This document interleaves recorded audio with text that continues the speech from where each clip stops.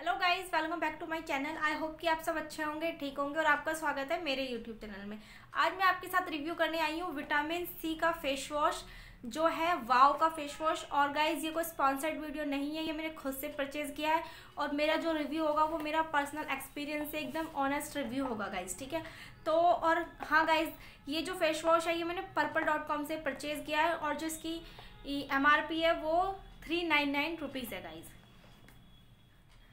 और गाइज़ आज मैं आपको ये भी बताऊँगी कि ये मेरे पास एक फेस वॉश और है, इसी का वाओ का जो है apple cider vinegar face wash मैंने पहले ये वाला फेस वॉश परचेज़ किया था एंड देन उसके बाद मैंने ये विटामिन सी वाला फेस वॉश परचेज़ किया था गाइज़ तो मैं आपको इन दोनों में ही कौन कौन सा बेस्ट है, क्या डिफरेंस है, ये भी मैं आज आपको इस वीडियो में बताऊँगी। तो चलते हैं वीडियो की तरफ़। तो गाइज़ देखिए, ये है वाव का विटामिन सी फेस वॉश जो आता है guys no paraben no sulphate no silicone and no colour ठीक है गाइज़ ये कहता है कि हेल्प ब्राइटनेस स्किन टोन या आपकी जो स्किन है, उसको ब्राइट करेगा, आपके फेस से age spot हटाएगा reduce fine lines and help smooth and complexion ठीक है गाइज़ और इसमें यहाँ पर ही इसके डायरेक्शन ऑफ़ यूज़ एंड इसके सारे ही इंग्रेडिएंट लिखे हुए हैं गाइज़ ठीक है? और ये वाला जो फेस वॉश है, इसकी एमआरपी है थ्री नाइन नाइन लेकिन पर्पल डॉट कॉम से या फिर आप कहीं पर भी अमेजन फ्लिपकार्ट पे देखोगे तो ये आपको डिस्काउंट में मिल जाएगा गाइज़ मैंने इसको परचेज़ किया था three three three three zero मतलब थ्री थर्टी रुपीज़ में मैंने इसे परचेज़ किया था, और ये मेड इन इंडिया का प्रोडक्ट है हंड्रेड एम की इसकी क्वान्टिटी आती है. इस फेस वॉश की गाइज़ सबसे अच्छी बात ये है कि ये एक ब्रश एप्लीकेटर के साथ आता है, जो आप देख सकते हैं और उस पर ये ब्रश एप्लीकेटर पे इसका एक कैप भी आता है। अगर आप इसको कहीं कैरी करना चाहते हैं तो आप इसको कैप को लगा के इसको कहीं भी कैरी कर सकते हैं, इसमें कोई दिक्कत नहीं होगी।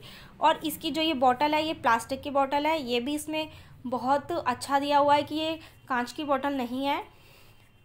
उसके बाद सब कुछ सारा मेंशन सारा इस फेस वॉश पे सारी इन्फॉर्मेशन दी हुई है ग्रीन मार्क बना हुआ है। ठीक है गाइज़ काफ़ी अच्छा प्रोडक्ट है। इसकी जो स्मेल है, वो बहुत अच्छी है। मैं इसे यूज़ कर रही हूँ। मुझे इसे यूज़ करते करते ट्वेंटी डेज़ हो चुके हैं।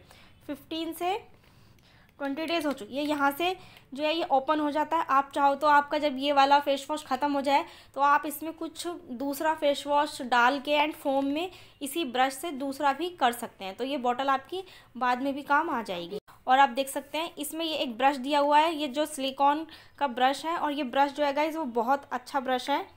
देखिए काफ़ी अच्छा काफ़ी स्मूथ ब्रश है। बिल्कुल भी हार्श नहीं है। आप इसे, मैं इसे अपने नाइट टाइम स्किन केयर में एक बार मतलब दिन में एक बार करती हूँ। मतलब नाइट में इसे करती हूँ गाइस ठीक है? इस फेस वॉश को। आप चाहो तो इसे दो बार भी कर सकते हैं बट मैं इसे एक टाइम यूज़ करती हूँ और इसका जो ब्रश एप्लीकेटर है, वो बहुत ही सॉफ्ट है। और क्वांटिटी काफ़ी अच्छी है मेरा जो ये एप्पल साइडर विनेगर का जो फेस वॉश है, ये मुझे काफ़ी तीन से चार महीने ये चला था। और गाइज़ इस, ये जो फेस वॉश है, ये काफ़ी लंबे चलते हैं। ऐसा नहीं है कि ये थोड़े से अगर आपको कॉस्टली लग रहे हैं तो गाइज़ ये आपके तीन चार महीने आराम से निकाल देंगे। क्योंकि एक फोम वाला फेस वॉश है, यहाँ से प्रेस करके इसमें फोम आ जाती है और एक एक पम्प ही आपके फेस पर इनफ रहता है। तो काफ़ी लंबे टाइम तक चलते हैं ये। तो अब चलते हैं वीडियो की तरफ़, कि मैं आपको इसका डेमो करके दिखाती हूँ। करने से पहले गाइज़ एक बार आप इस फेस वॉश को शेक कर लीजिए ताकि इसमें जो फोम है वो क्रिएट हो जाए अच्छे से। क्योंकि अगर आप इसको डायरेक्ट करेंगे तो इसमें फोम अच्छे से नहीं बनेगी। एक बार शेक करके इसमें अच्छे से फोम बन जाएगी। और आप देख सकते हैं, हल्का सा पंप मैंने यहाँ पर किया है। एंड थोड़ा सा ही मैं बिल्कुल यहाँ पर करूँगी।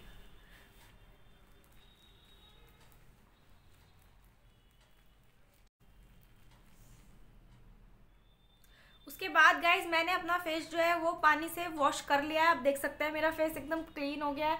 मैंने अपने फेस पे मॉर्निंग में कुछ नहीं किया था मॉइस्चराइज़र एंड कॉम्पैक्ट लगाया हुआ था।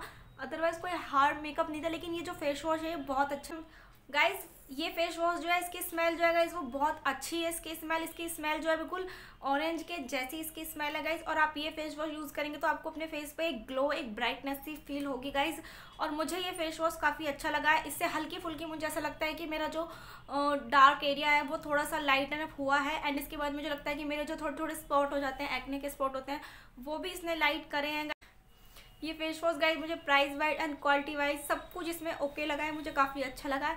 आप भी अगर इसे यूज़ करना चाहते हैं तो पर्पल डॉट कॉम से या कहीं से भी आप इसे बाय कर सकते हैं, ले सकते हैं गाइज़ ठीक है? और विटामिन सी हमारी स्किन के लिए बहुत अच्छा होता है, हमारे डार्क स्पॉट हमारे पिगमेंटेशन हमारी स्किन पे ग्लो लाता है विटामिन सी और ये फेस वॉश गाइस का मुझे कोई साइड इफ़ेक्ट नहीं लगा है। अब मैं आपको बता देती हूँ कि मैंने ये एप्पल साइडर विनेगर का फेस वॉश लिया था गाइस इसका रिव्यू भी मेरे चैनल पर पड़ा हुआ है, आप चाहो तो वो वीडियो भी देख सकते हैं। लेकिन गाइज़ मैं ये नहीं कह रही कि ये वाला फेस वॉश गलत है अच्छा नहीं है। मुझे बस इन दोनों फेस वॉश में से अगर आपको मैं ये कहूँ कि कौन सा बाय कीजिए तो आप ये विटामिन सी का बाय कीजिए। गाइज़ ठीक है? क्योंकि मुझे स्मेल वाइज इसमें थोड़ी सी मुझे स्मेल का कुछ ऐसा फील नहीं होता है, लेकिन इसकी स्मेल मुझे काफ़ी अच्छी लगती है। इसमें हल्का सा मुझे ग्लो लगता है। इसमें इस फेस वॉश को जब मैं यूज़ कर रही थी तो मुझे अपनी फेस पे मतलब कुछ ग्लो जैसा नहीं लगता था, क्योंकि इसमें, लेकिन इससे मेरी स्किन थोड़ी बहुत ब्राइट लगती है। मुझे इस, मुझे इससे बेटर ये वाला फेस वॉश लगा है। मतलब विटामिन सी वाला फेस वॉश जो है, मुझे इससे बेटर लगा है। बट आप चाहो तो दोनों में से कोई सा भी ले सकते हैं गाइस लेकिन अगर मैं आपको सजेस्ट करूँगी तो आप एक बार पहले विटामिन सी का परचेज करके इसको यूज़ करिएगा तो गाइज़ देखा आपने, ये थी आज की मेरी वीडियो गाइज़ आई होप कि आपको मेरी वीडियो अच्छी लगी होगी, मेरी वीडियो आपके लिए हेल्पफुल रही होगी गाइज़ तो मेरी वीडियो को लाइक कीजिए, मेरे चैनल को सब्सक्राइब कीजिए और मिलते हैं नेक्स्ट वीडियो में. Bye bye